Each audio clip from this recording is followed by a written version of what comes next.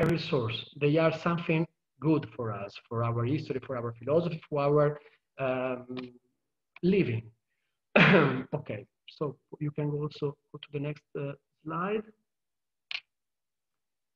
Here, uh, here you are some uh, just few examples because our research uh, is very very long. It uh, it started from uh, my PhD thesis in Rome in 2014. So there are also some publication I show you in the last slide. that You can find more more thing about.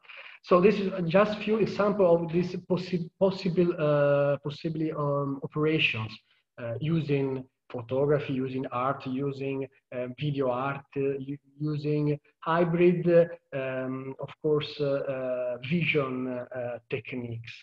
Uh, on the left, you can see the, the, the, former cattle market of Padua, and on the right, you can see the ancient basilica of Paestum in Italy.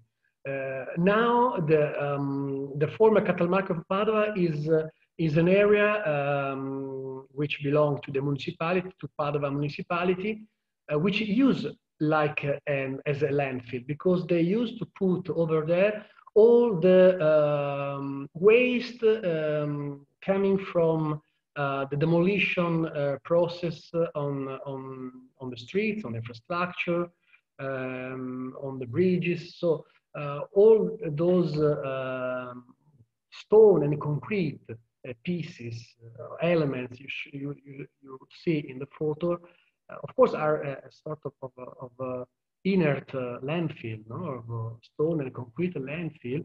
Um, the municipality, also the, the, common people, the inhabitants, uh, look at it as a problem, as a, an unacknowledged place, a place, uh, a refused place, because it's not, it's not beautiful.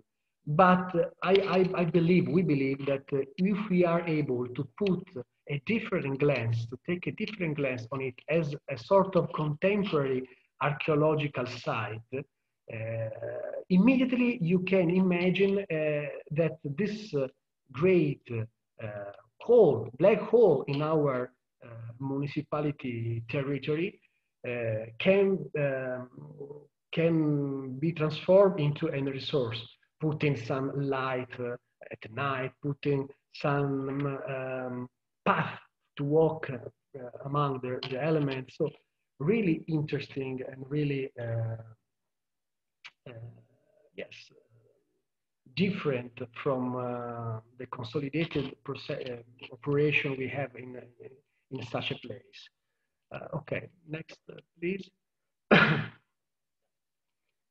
of course, this uh, suggestion um, is not something new, it's not an invention, but uh, is uh, it's recalled to us um, by the, the more typical and basic uh, uh, wreck that are the, the submarine wreck. So they're something that we uh, lost because a ship, a boat, fall down in the bottom of the sea. It's, it's a wreck, it's a waste, but in the 90% of these cases, the wreck, the submarine wreck, um, has the power to, to become uh, a resource, an oasis, and biological and also a biotic uh, bomb. Uh, if you take this paradigm, this metaphor, and we put in our uh, land, in the inland, so this photo uh, is about some boat, some wreck, uh, some decommissioned boat in Venice, but they put them in this uh, grass, green grass uh, near the lagoon. And uh, immediately we recognize that uh, these shapes um, are building a, a, landscape. So why not our landfill, our um, compromised areas can be treated uh, like uh, an inland wreck, which can explode of biotic experience and, and of course, um, also other activities for the municipality, for the, for the people, for the communities, for our contemporary communities. Okay, next, uh, next one.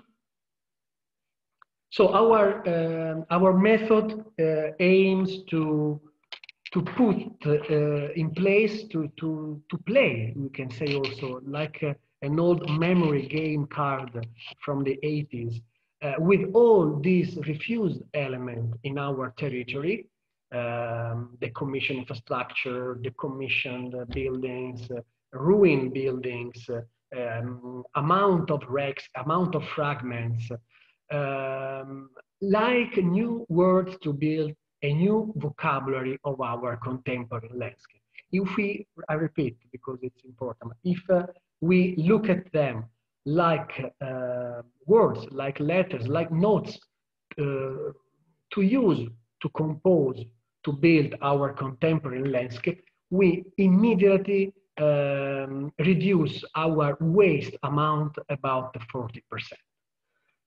okay, this research, you can go to the next one, of course, uh, has some outputs.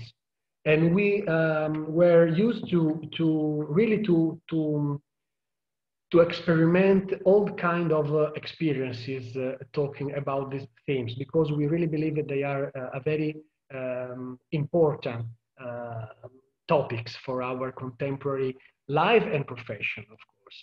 Uh, we immediately uh, try to, to write um, two uh, great, huge um, European programs uh, founded by uh, the European Social Fund for the operative regional program in each uh, country.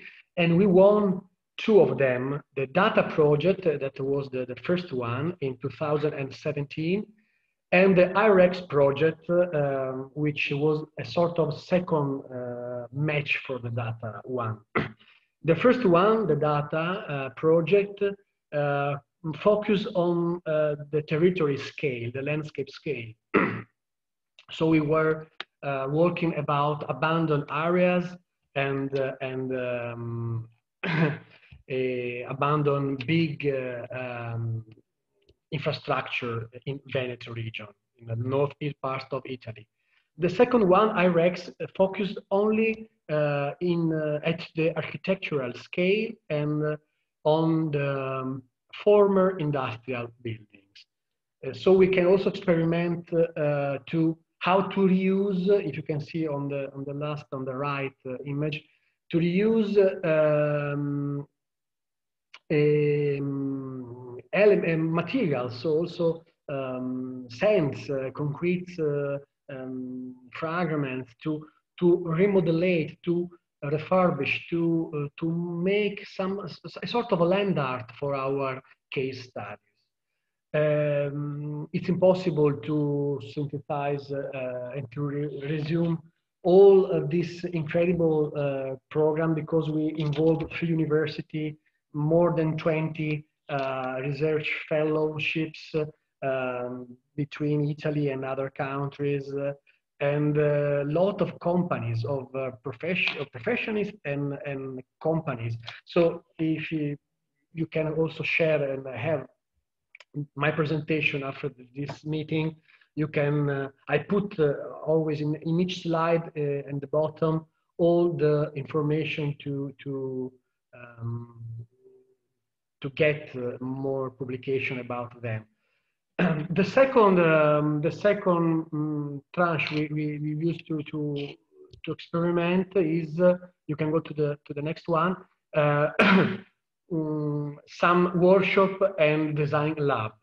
Um, I put just few images from uh, the last experience in, in Cagliari, in Sardinia, with Elena and Anna from uh, from Arcoplan. Um, in this case, we were focused um, into onto uh, landfill plants in, in Italy. And we try, uh, these are my sketches, to, to is, of course, to reconsider these places not like a, a, a closed area, a, a refused area, but uh, as a public space, uh, of course, uh, uh respecting all the um, security um, staff norms, uh, uh, laws. So um, it's hard work, but it's possible to to to get this place uh, for the community as well, of, um, especially in the period of the post um, post management of these landfills and waste plants. in this case, for example, many car, because this is, was a, um, a demolished car uh, landfill, no, uh, storage uh, for metal fragments and waste elements. we can also put some um, car, some of these car hanging on this main entrance, which were um, was designed a new ex, ex new like a new a new entrance for the communities and and we can also uh, ask for for example from uh, um, from the um, uh, the um, archaeological heritage uh, of Rome to, to hang also pieces of ancient statues or ancient archaeological fragments for architecture uh, among the cars. So this is also another operation um, which uh, belong to the field of art, of course, that help us to uh, acknowledge this uh, refused element. If you put the wreck of a car with the ruin, the, the remain of an ancient um, status of architecture, you you begin to to learn about the poetry of uh, and the aesthetic of the of the fragment of the of the waste. so it's not something to refuse, but it's something that can generate interesting vision. Um, the third one is uh, working, of course, uh, working on uh, uh seminaries. You can go to the, to the next one.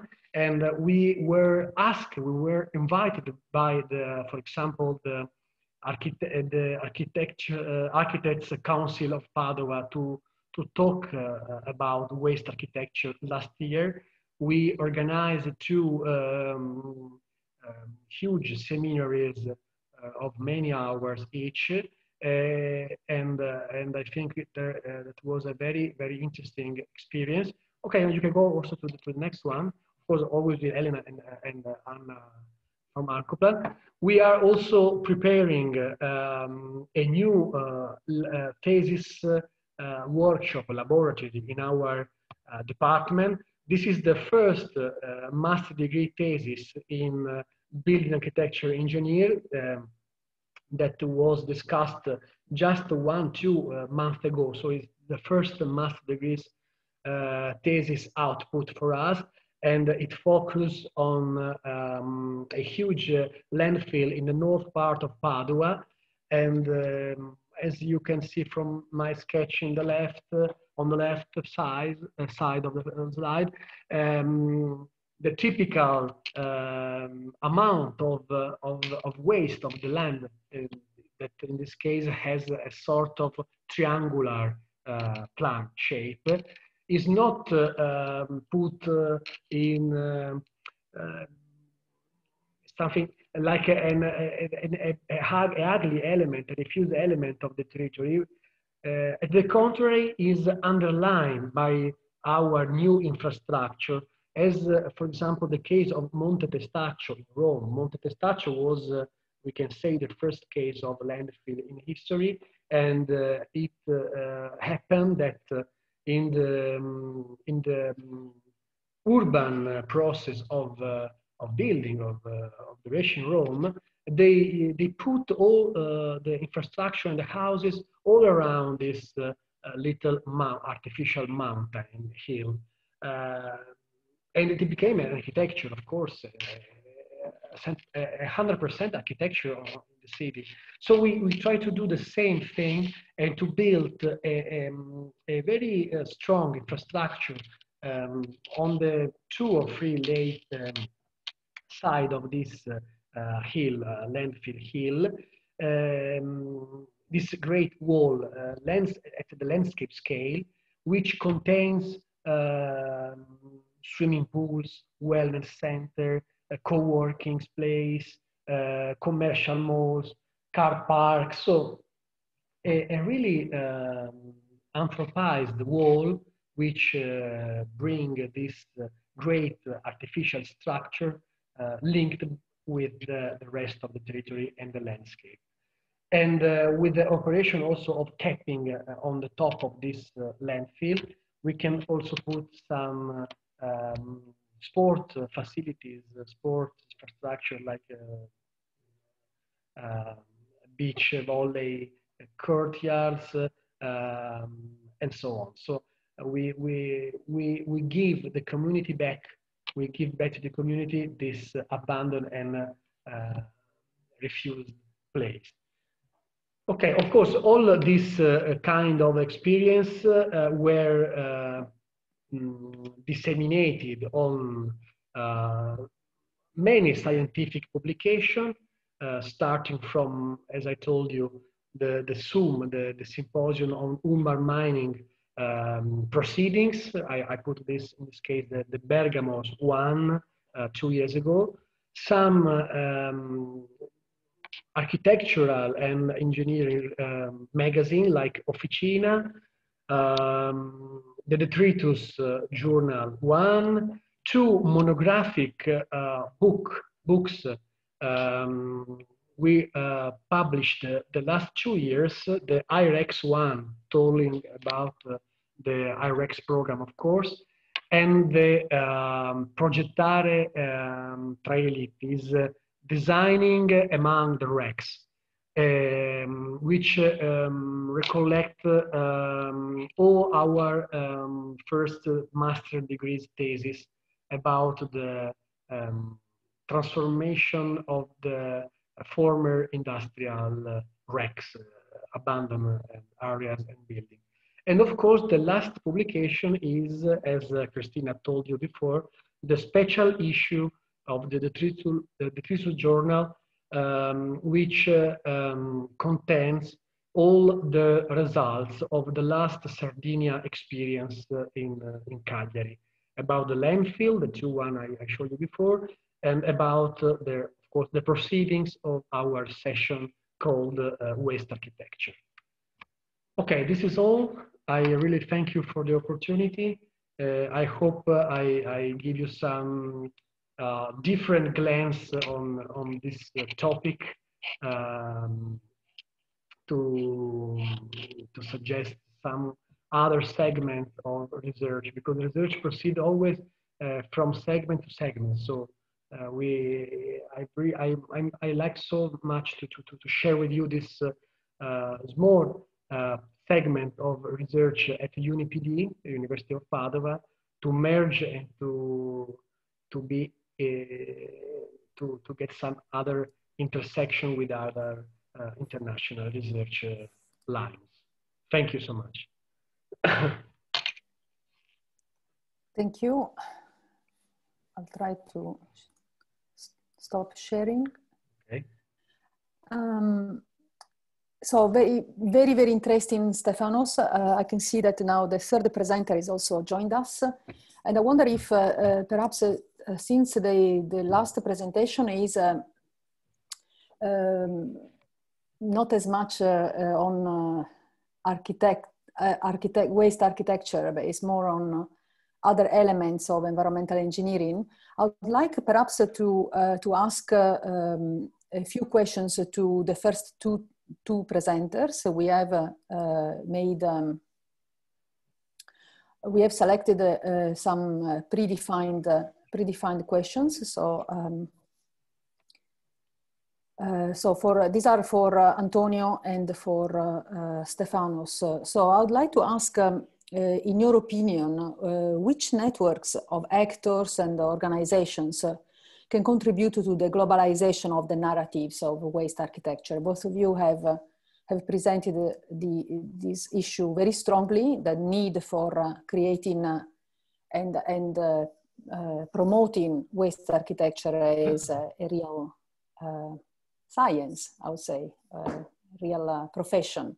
So can, can you um, articulate on uh, what next, so who could be the champions, who could be the actors that should drive uh, waste architecture? Uh, maybe starting from, uh, from Antonio.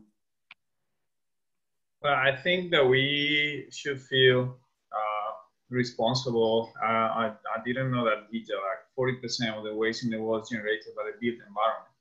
We must acknowledge that. And the built environment has already quite powerful uh, network of factors. And we, we, we just need to be aware of that. And, and we, out of the blue, will deal with 40% of the, of the problem. Now, engaging with uh, uh, political level policy making, it's uh, also very important. And for me, the third leg of this um, um, uh, possible solution is definitely um, make people know what is what are the consequences of the waste. When I say people, is because most of these situations are happening in urban areas. Um, so urban areas and people are uh, connected. Uh, and, and, and, and it's very interesting how some research actually that we are conducting in the group deal with the fact of uh, how ignorant people can be with the impact of their waste when they throw something away when how ignorant they can be uh, it, it, uh, whether they're blind or they think that the earth is going to uh, absorb all the waste. So I think that could be maybe the three um, main elements: uh, ourselves in the built environment, uh, engaging with politicians, and making people know um, what are the consequences of waste. And Stefanos. Yes, I, I can I, I, can tell about my um, our uh, experience here. Uh, we um, I think it's uh, uh, there are two um, two fields: the the private one and the and the public one. Um, starting from the from the public one, that is is the field I, I work in.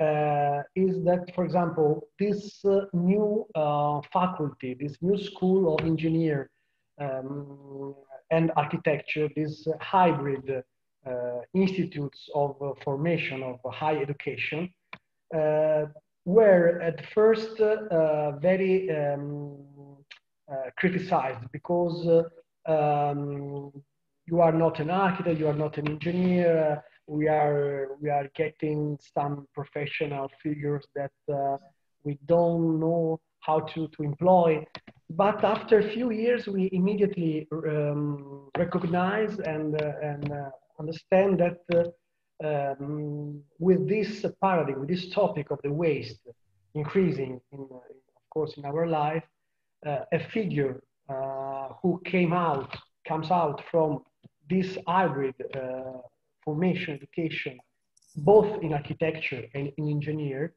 is the is the, of course the um, the, um, the best figure uh, able to to bring the problems together and to and to solve um, a landfill problem in, into a landscape uh, matter, a landscape opportunity, for example.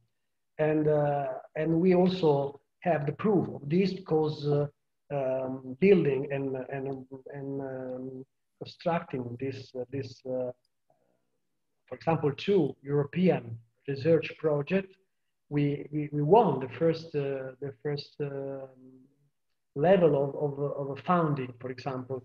It, this is a, a, sign, this is a, a, proof that uh, the European uh, commissions, for example, the European uh, uh, Fund um, is searching uh, this kind of competence center in our territory and that they, they can found uh, found uh, them uh, as well to, to work in this in this direction.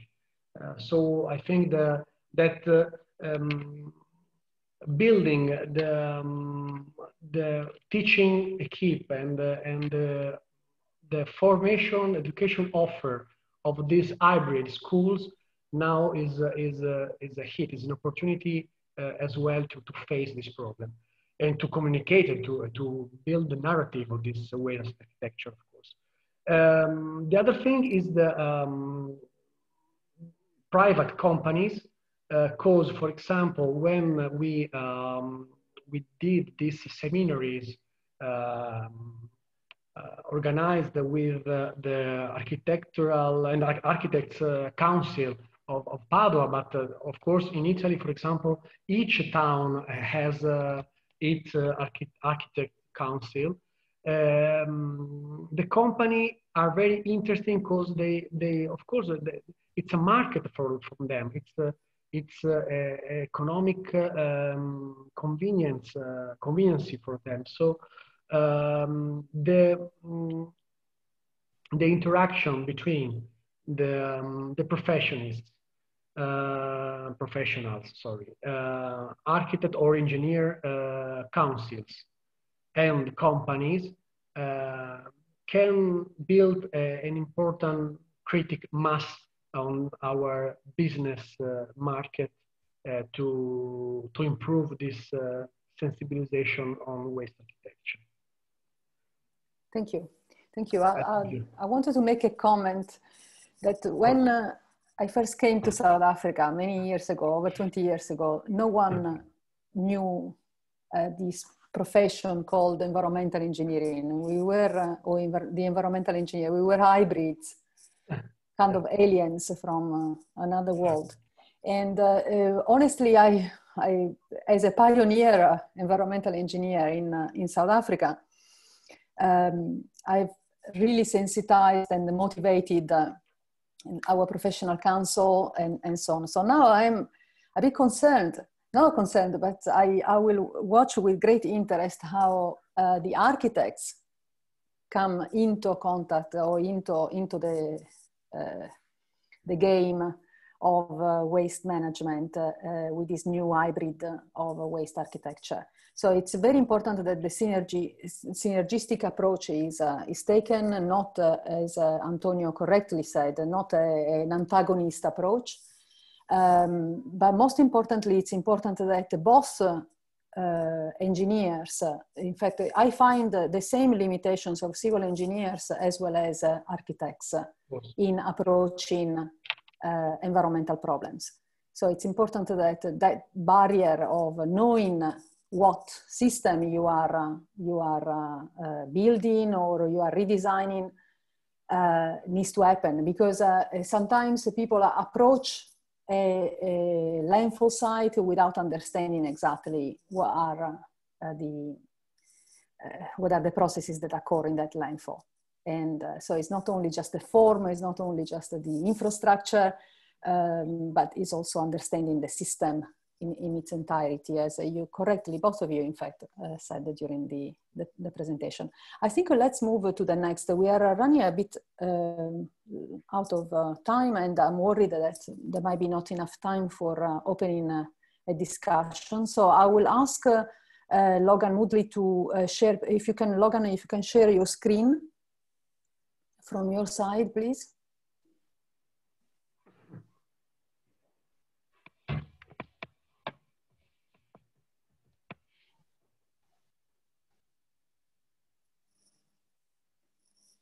Okay, when you when you want, please uh, go ahead.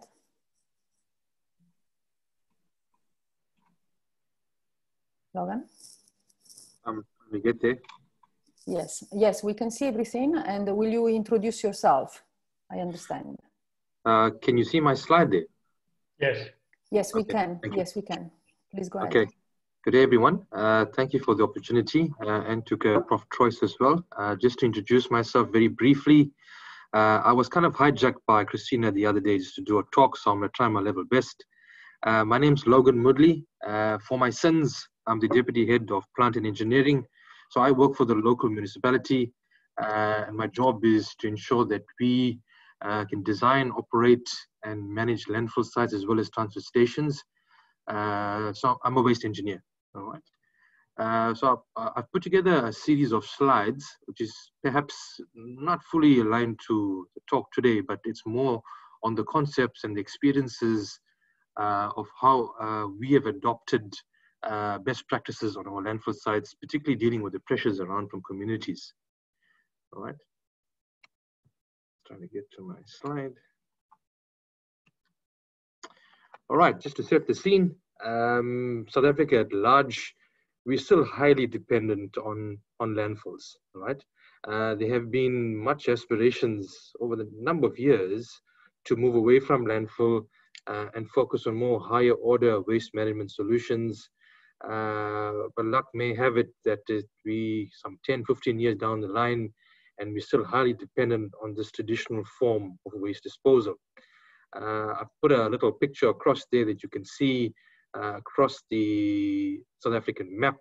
Uh, we based in KwaZulu-Natal, KZN, um, and there's about 100, there's about 10% of the waste that we take across the country.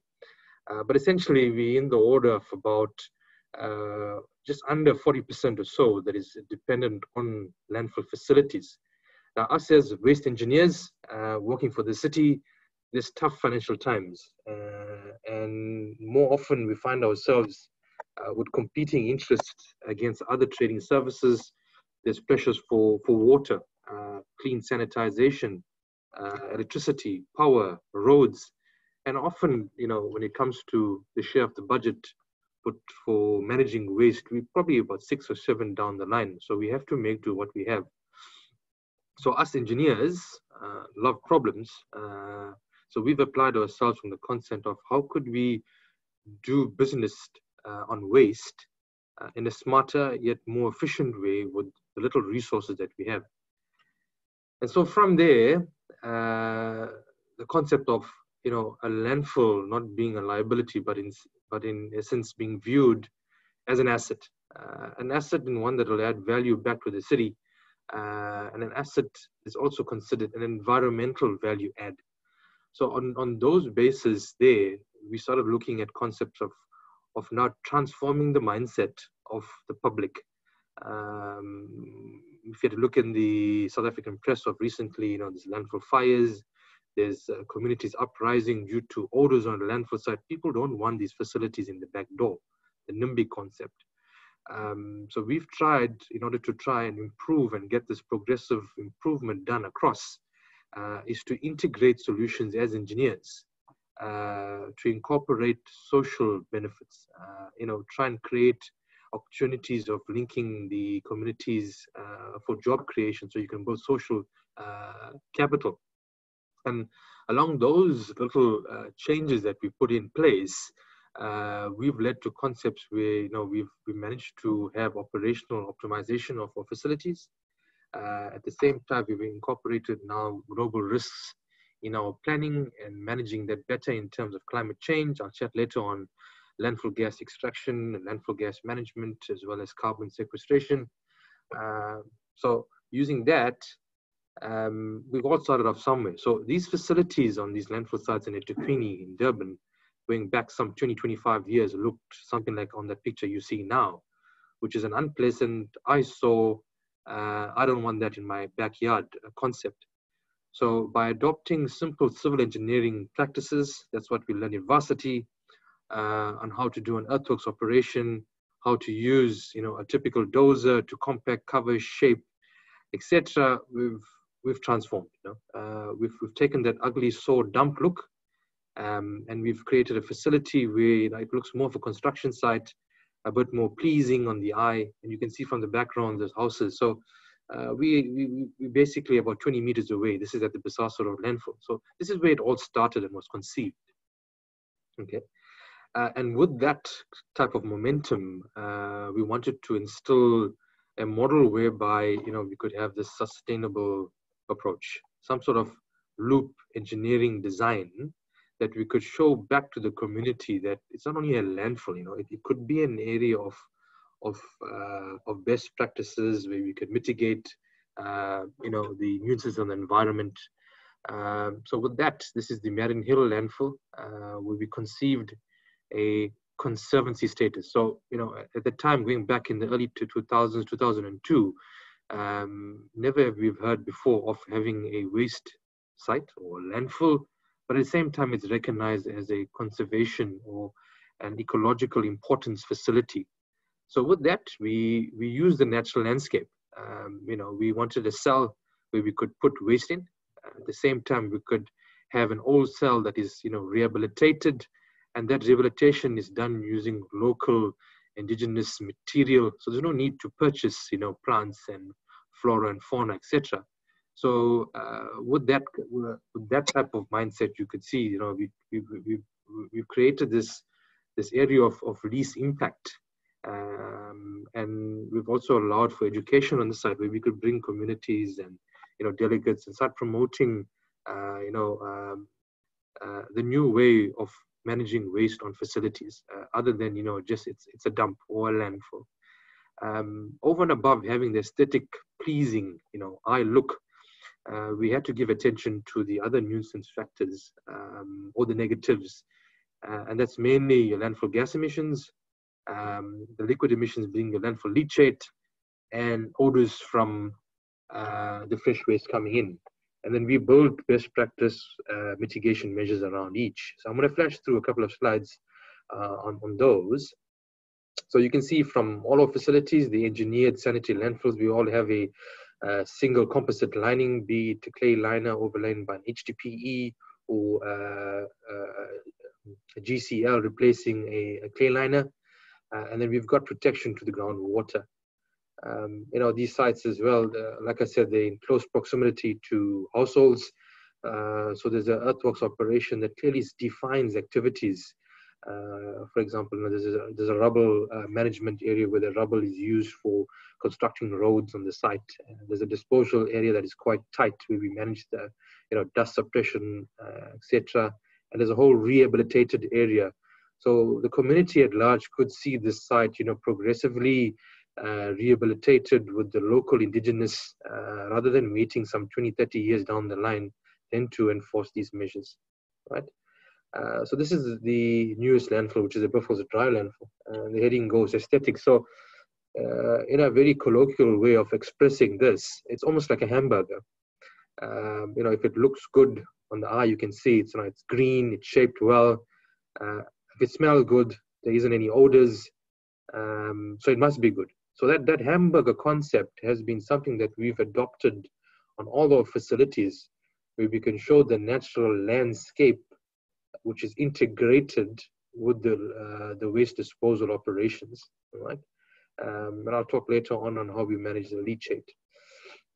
Okay, so it all started off here where we we actually go out into the, the landfill footprint and the buffer and we capture all the indigenous seedlings um, and they within the 20k radius um, and where we can propagate material from you know from the from origin into its final placement we would do that. So there's le least environmental uh, disturbance. Where we can't then we would put it into a into what we call a plant rescue unit which is called prunet. That's essentially a a local endemic uh, rehabilitation nursery. And we grow the plants in there in a very hardened environment. And, and once we uh, complete cells, we take that material and then rehabilitate uh, uh, the landfill, right? So at, at, the current, we've got each landfill site uh, across the city has a, uh, a, a prunette nursery, and we're probably sitting in the order of about, in terms of South African rands, about 3 million rands worth of plants at any time uh, that we have on hand, all right? Um, you can see that's that's put at Marigny landfill. That's one of the closed. That's cell one. Uh, that's been rehabilitated to all this coastal endemic bush. Um, and you can see it's an area of least disturbance. Uh, there's any there isn't stress on the environment. You can see everything's green and lush and thriving. Uh, it's another pic as well. Um, and it's a, um, an aerial shot showing how this landfill, you know, over time um, can can integrate with the biodiversity and uh, ecological principles. Okay, odor as well. Um, we've done a lot of work with the local community uh, using different enzyme solutions. There's an online system uh, that we use depending on the wind direction. We can manage the odor. So anytime we could pick the phone up and we could phone the neighbors and say at two o'clock, can they expect uh, an odor coming through, but we're managing it. All right. You can see uh, on the top area that's the community up front all upset about odor and then once we introduce these principles you know there's happy smiles on the faces okay that's just showing you the odor modeling plume that we do have on these sites uh, the order controls and all the boundaries in terms of uh, or, or control and management uh, and then landfill gas. Uh, landfill gas, uh, this goes back to first principles, back at varsity and understanding the biological degradation of waste. So we've used this um, you know, to work to our benefit in terms of the global risks facing climate change, um, and using methane in order to enhance its potential for energy recovery. Okay, so this led to Africa's first landfill clean development mechanism project, conceived at the Mariannhill landfill. Uh, we're currently extracting on about um, uh, just over 750 cubes of gas uh, an hour, uh, um, sufficient enough to produce one megawatt of electricity. Um, and those concepts from there led to the bigger site, Bisasar Road. We've got seven and a half megawatts of electricity at current now, uh, and just under 4,000 cubes of gas. Um, and that in total, if you take both the projects and you add it up, we just under 4,000 of households that we're producing uh, electricity for. And on our smaller sites where we don't have enough gas to justify the energy production, we merely extract the gas and we flare it. Okay, uh, this goes back to very simple line diagram. So us engineers have focused on maximizing landfill gas extraction so there'll be least impact on the environment in terms of global warming. Uh, we studied various types of gas wells from vertical wells to horizontal wells. Um, we found innovative ways of uh, installing these wells on our facilities. Um, yeah, so you can see we've put these vertical wells in. They produce about 40 cubes of gas an hour uh, per well, uh, but it's very short-lived. Um, we've done further research. Uh, we put in, you know, cost-effective wells, horizontal gas wells, um, which is half the cost of these vertical wells and produce more than double uh, gas flows. Uh, this is managed to uh, ensure that we could honor our PDD requirements in terms of our gas modeling. Okay, um, in terms of the construction of these facilities on the site, there's been a lot of quality assurance done, uh, making sure that you know we we get the gas in terms of the installation works. Um, you can see uh, there's inspections on the site, making sure that the you know the gas drainages of a certain thickness so we can get the effective extraction. Uh, you know, then after the wells are put in, uh, the whole series of uh, collection networks monitoring, control, and eventually, uh, you know, uh, tracking what the performance is. Um, all right, so that's Bisasar Road, the biggest site, seven and a half megawatts of electricity. Um, and these are some of the stats that I've just put up to show you, you know, the improvements over time. Uh, during the winter months, that's when we peak in terms of our tariffs. Uh, over 4 million rands worth of electricity a month uh, generated. Uh, over 2.7 million tons of CO2 equivalent destroyed, and in the order of 4,000 cubes of gas extracted. All right, and on leachate, so we did the gas. On the leachate side, uh, we've come a long way in terms of understanding leachate treatment. Um, and with that, there, this is a low-vol landfill concept. So this whole game now is about leachate management and controlling clean and dirty waters. Um, very quickly go on. This was conceived uh, under Christina Trois at the time at the varsity.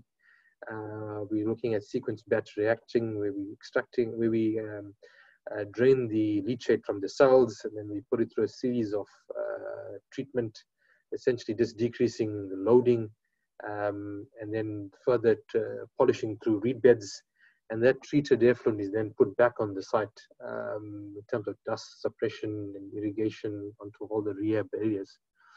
Um, and then from from there, it grew to the bigger sites. Uh, so this is Buffelsdraai, it's a bigger site. Uh, uh, we treat up to 2,000 cubic meters of uh, leachate a day, uh, but it's based on the same principles as Mariannhill. All right, in Lovu landfill, um, that's a site that's opened recently. We put the same treatment plant, but there's been a lot of announcements done on trying to further polish and clean the leachate in reducing the organic uh, loading. Um, so there's this the research being done with different species of reeds, phragmites, bulrushes, uh, etc., to see you know which one has a better cleaning potential or combination of all. All right. Um, and yeah, that's my son playing around with dust suppression. uh, yeah, and then uh, after having all these best practices on this site, uh, over the last three years, I would say, there's been a significant awakening from communities. Even though we have this, there's still one more. Um, so we call it the banana syndrome. It's almost similar to NIMBY.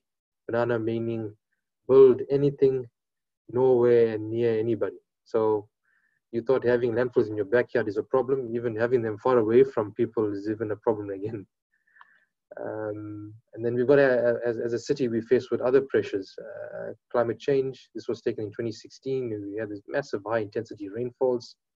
And with rainfall comes, you know, all the waste being washed from the upper catchments uh, down to this lower areas. And then these landfills, the ones that we operate, get overwhelmed with uh, these uh, heavy rainfall and then leachate systems overflow. Uh, there's damage to lining systems it's any landfill engineer's nightmare. Okay, so we said, no, it's fine. We can deal with this. Uh, so we then move from the closed loop concept into a transformation concept, right? So we wanted to take what we have and enhance it further, right? Uh, and to have this radical shift in having resilient and sustainable solutions. So using the Mariannhill concept, like I showed you, which is this whole green, naturalistic uh, approach of, uh, of engineering landfill nowadays to the Buffelsdraai landfill, which is this transformation concept. Essentially what it is, uh, is to you know eat away at this pie very slowly and to have progressive improvement uh, to make sure you keep the community happy, to make sure you address climate change, to make sure you can try and generate some revenue for the city, um, and then eventually get to a state where it's a, uh, you have uh, uh, a, a, flexible set of options uh, that you can manage ecosystems and the environment and excel. Okay, so so I mentioned this earlier. it's about moving away from business as usual. Um, so the concept we've ad adapted where we brought uh, endangered species onto the site. Um, um, and you know we've taken all the all the plants and pruned concept and we've enhanced it further to deal with stormwater attenuation, stormwater control, uh, you know, uh, creating habitats for reptiles, um, um, and then not only utilizing the, the, flora and fauna, but utilizing the sand, topsoil, and the clay back into the system, right? Um, and th that gave birth to the Buffelsdraai Reforestation Project. It was it won a flagship, uh, you know, uh, innovative concept with the climate change COP event.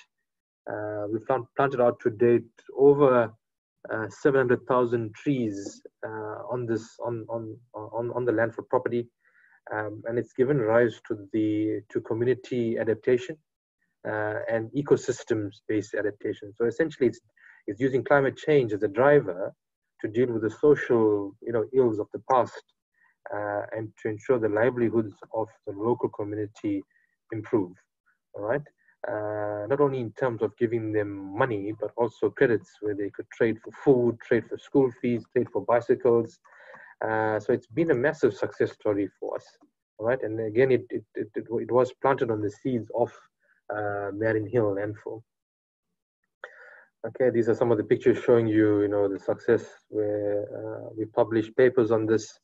Um, you know, there's, there's education still ongoing there's disadvantaged contractors um, that actually come from you know um, just having a slasher and a and, and, a, and a lawnmower to, to today having a team of of employed uh, staff with a bakkie and uh, equipment. So it's it's grown, all right.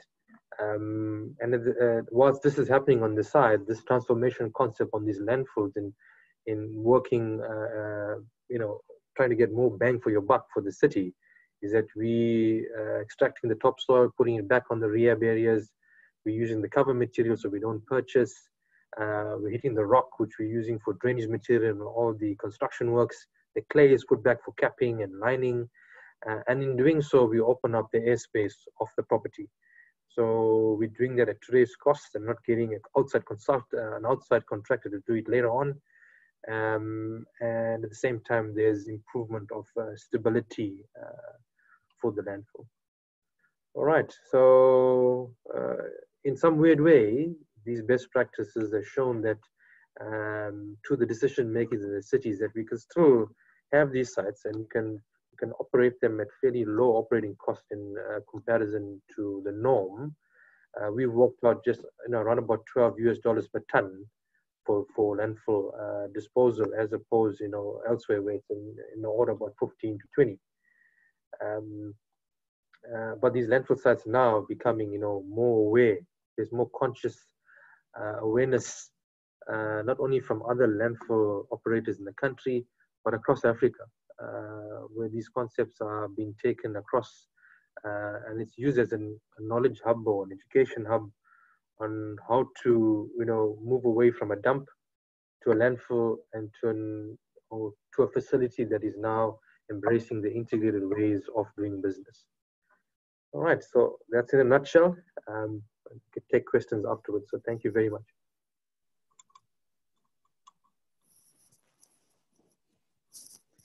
Thank you very much, Logan. So you, you can start, you can stop sharing uh, the video.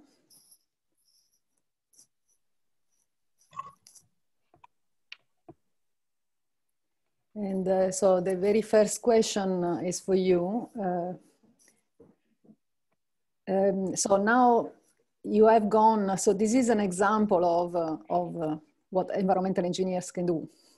Now it's time for uh, our sites in Durban to actually go to the next level um, by, by involving also waste architecture um, as the last stage of your transformation. Um, in, of course, in, in conjunction with, uh, with the environmental engineering uh, solutions. So the question that I'd like to ask you, uh, Logan, from your uh, um, institutional capacity.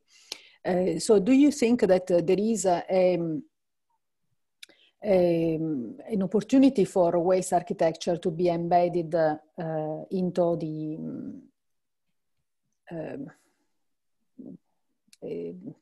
into environmental management policy. So do you, do you see uh, what knowledge or what expertise uh, do you feel uh, are required uh, to embed the waste architecture into environmental management policy? Yes, I think there's, there's definitely room for, for improvement. Uh, I like one of the slides from the previous uh, speakers where he says, you know, we almost work in silos as engineers and architects. I think it's time that we come together and just from a city perspective, um, we're essentially an essential service provider. And the layman out at home, all they know is the waste is put out and it goes somewhere. They have no idea or no clue of, of a landfill. Uh, some do, but I think we have a responsibility as environmental engineers, from a, from a city perspective, is to join forces with the likes of the architects in this space and there's definitely room for opportunity, I can say, in how we can work together in packaging these uh, new concepts uh, in, in a very simple format, and it's easily uh, easily uh, can be communicated back to the masses out, which is the residents. Uh, and if we can get that right, and I think we can then try to win over the higher decision makers in the city to buy into these concepts. Uh, and I'm just thinking out aloud, you know, and brainstorming in that the traditional look of a landfill is one of a landscape, you know, it's cut and clean and it's almost up like a cherished fashion. But if we could, you know, put a model together, put those concepts, and then show the decision makers, you know, get that buy-in, I think that's the first starting point, Christina. So, do you think the, that, uh, uh, Logan, if I can follow up uh, with another question is, do you think that waste architecture can actually indeed become an element, fundamental element in the decision-making process at municipal level? So it's not only landfills, it's obviously uh, um, industrial plants like um, like your transfer station, like your, uh, your uh, toilet facilities, your wastewater treatment plants. I mean, there is a lot of infrastructure that mm. falls mm. under the, the perimeters of municipal waste infrastructure that can certainly uh, would do much better if uh, in the decision-making process uh, you could actually have not only expert environmental engineers and civil engineers, but also expert waste architecture or architects in general.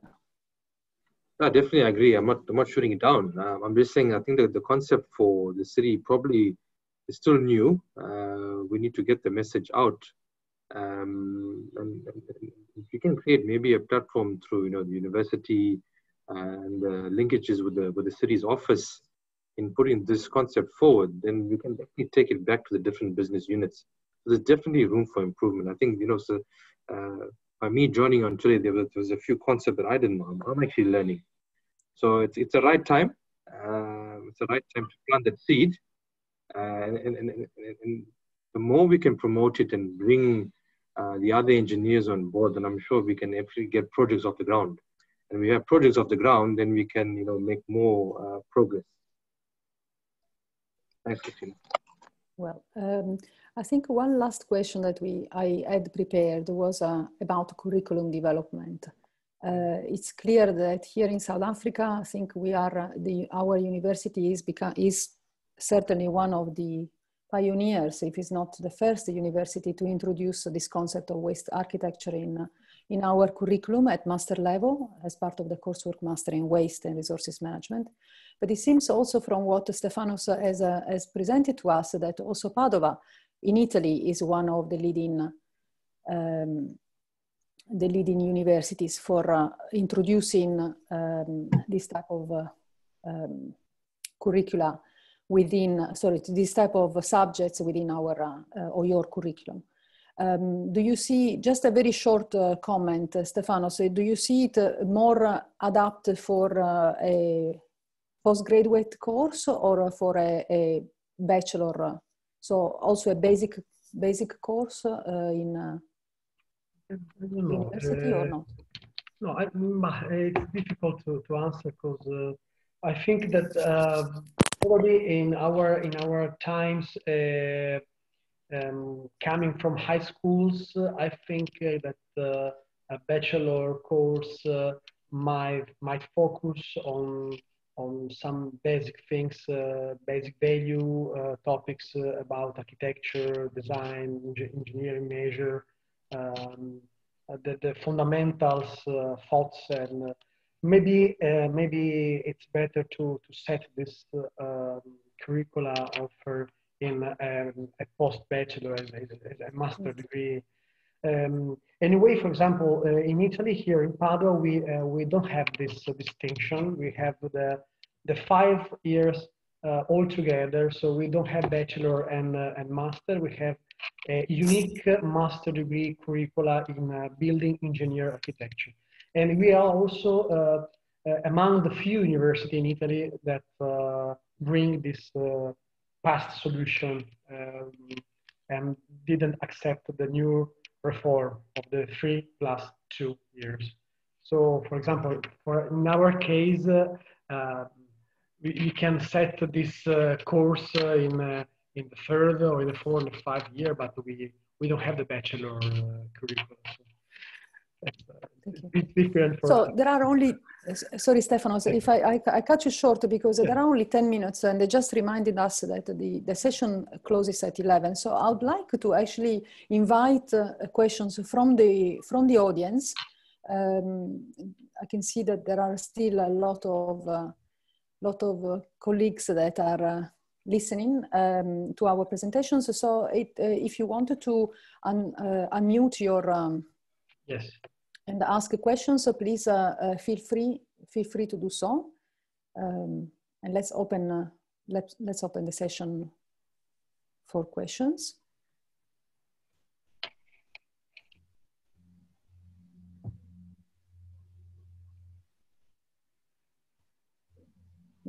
um, I'm not sure if uh, um, if you are all uh, able I to. I that uh, uh, someone asked for the presentation, for example. I think it's possible, and uh, if someone want to write also to our, I think, email address, I can also send some link for the mm-hmm. publication for the scientific outputs. yes. So also. Um, the session has been recorded and uh, uh, presumably will be available on, on the website, but the person who asked the question is one of our uh, master students in the coursework master, so I will be able to make link him uh, uh, with you, Stefano. Okay, with pleasure.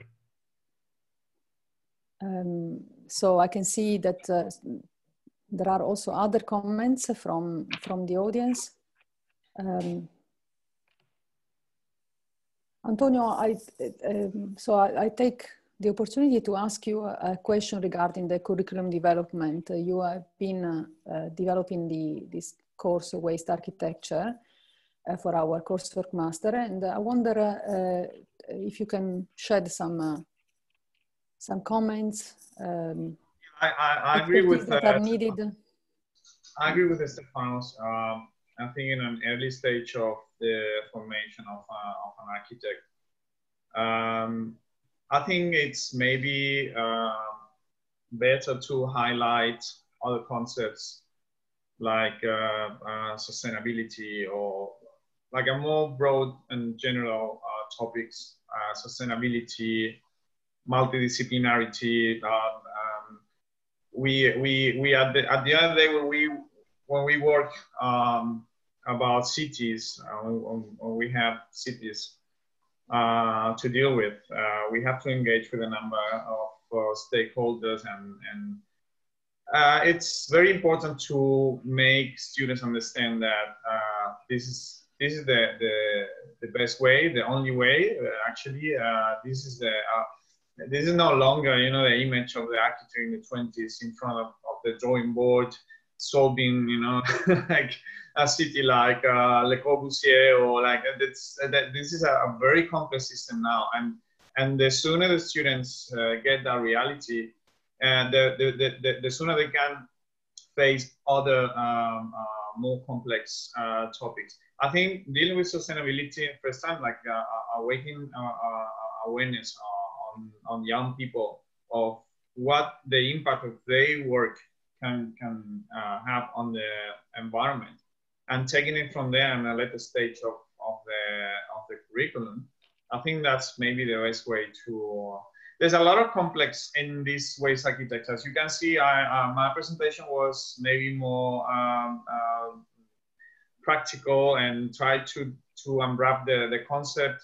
Uh, Stefano's presentation was, was uh, very deep, and I think we need thinkers to, uh, to support uh, the whole narrative. Otherwise, the narrative is superficial and weak.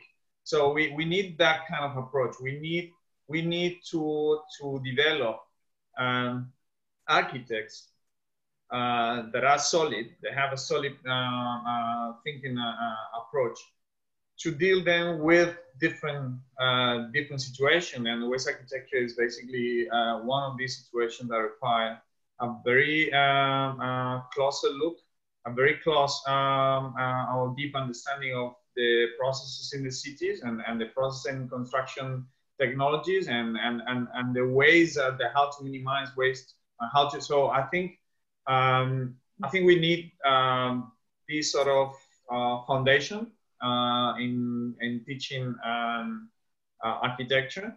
Uh, but I mean, when we look at um, sustainability, for me, it's equally important to look at. I, am actually teaching in engineering, so for me, it's equally important if we look at the School of Engineering or the School of Architecture. So at that at that early stage of the of the of the studies, it's it's for me it's equal.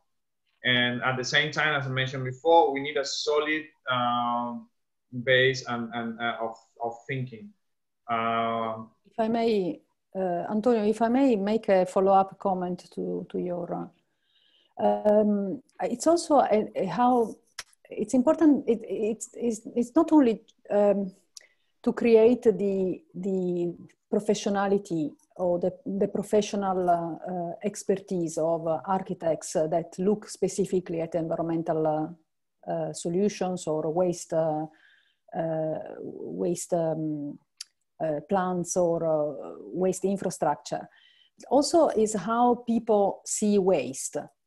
Because um, I do not want, and also how decision makers see the value of uh, of that property because it, it, it, you know it comes uh, um, waste to value uh, and waste to resource comes end on end with the concept of uh, the intro introduction of waste architecture because uh, uh, again there is a I, I do not want to waste to wait other 20 years for so we waited 20 years to motivate South African government, municipalities of the need of introducing an environmental engineer and environmental engineering concepts in the decision-making process of, uh, of waste management.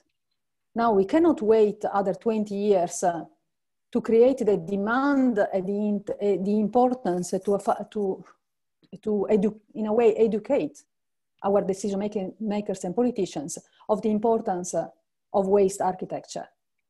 Because we would then defeat the purpose. So to me it's the, the two things hand, come, must come end to end we need to build and uh, uh, create this new architect that is kind of an hybrid between a civil engineer and environmental engineer, and of course, an architect um, that has a specific focus on, uh, on, on waste management systems and infrastructure.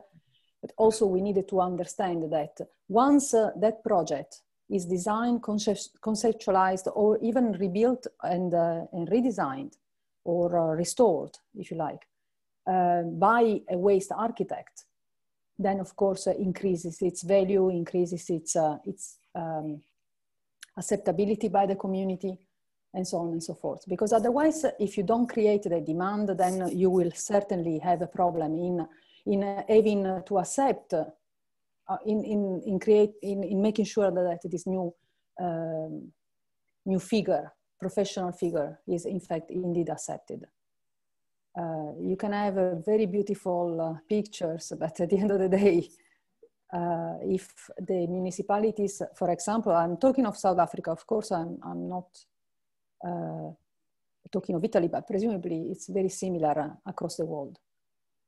So it's very important that while we create this new skill and we embed this new skill into our curricula at both engineering and architectural level, we also uh, work on behavioral change, how people see waste. So it's also a, a social, societal change that is, uh, that is required in my mind.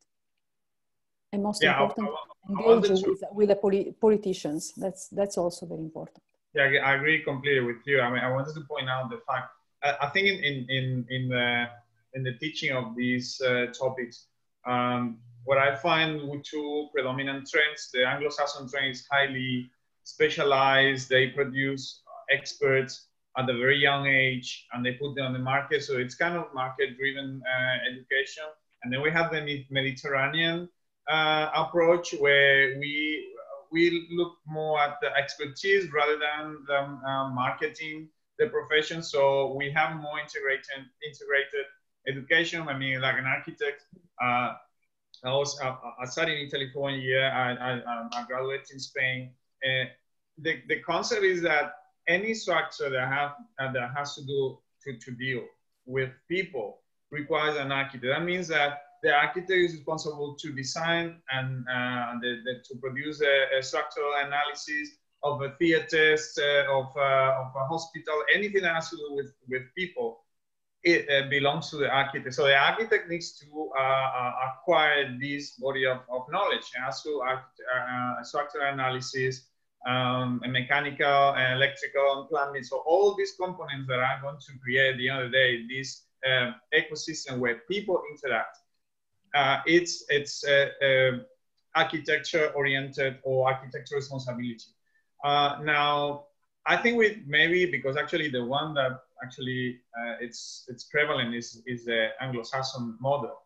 I think we need to maybe to, to, to step back a little bit and create professionals that are able to look at the bigger picture and and and and this way we need to maybe look at the way uh, higher education is organized. Um, I think the trend is it's more and more oriented to supply the market with uh, specialized professional. And that makes uh, people being jealous of their own, like the little, uh, the little uh, piece of, of, of um, competence. And, and we create silo um, um, relationship in terms of dealing with this complex system. That, that it's evident that we need integration, uh, professional integration. I need to stop you, Antonio, unfortunately, because the session is, uh, is closing now.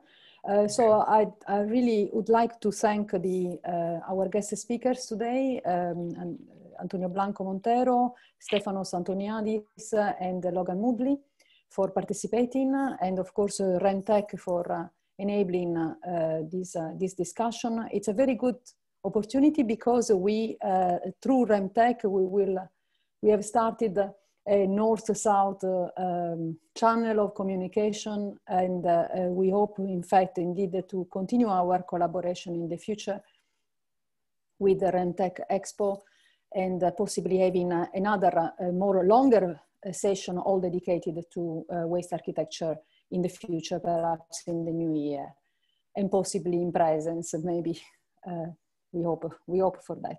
So i um, really have to say goodbye to everyone. And again, thanks, uh, uh, thanks a lot. Uh, the um, recordings will be available on the website, uh, I'm sure, in the next uh, in the next days. Um, that's it. Thank you. Thank you very much. Thank you very much for attendance. Thank you. Bye bye.